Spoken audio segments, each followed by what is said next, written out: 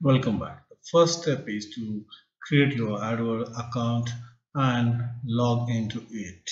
So here we have logged into the account and here now we are going to create a new campaign.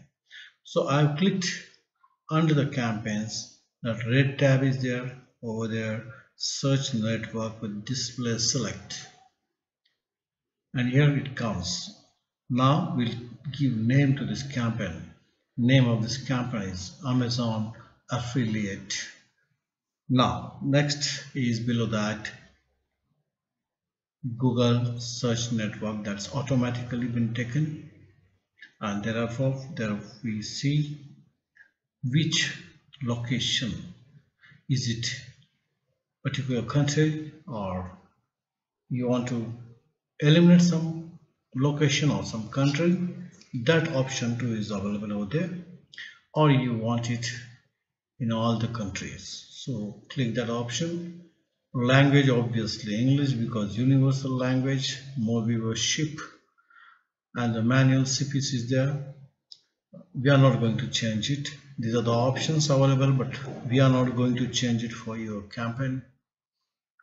Now comes the default bid keep it minimum if you are doing it for the first time.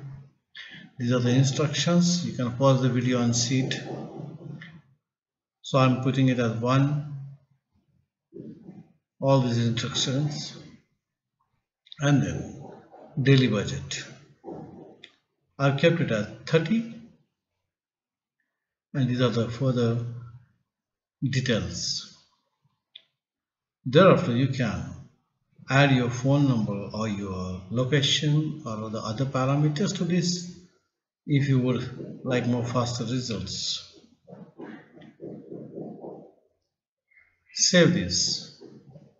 And you'll be taken to this page. Read these instructions very carefully.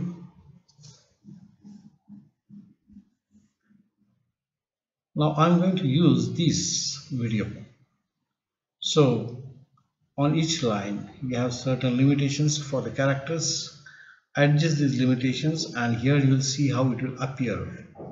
This is the preview. The this is my YouTube video which I am going to advertise for. I'll paste the link here. So the moment people click on this they are taken to that video mobile URL also same thing I'm pasting. Now these options further options are available available. Thereafter go to the keywords. Select the keywords. Keywords don't select single word but long sentences exactly what people type to search. You can add 10 to 20 keywords in the beginning so I'm adding affiliate marketing 10 to 20 keywords and then save it.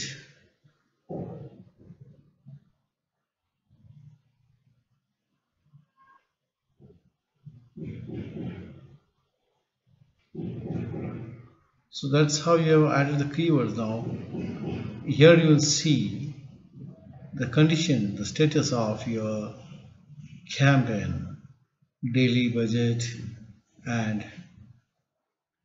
the result.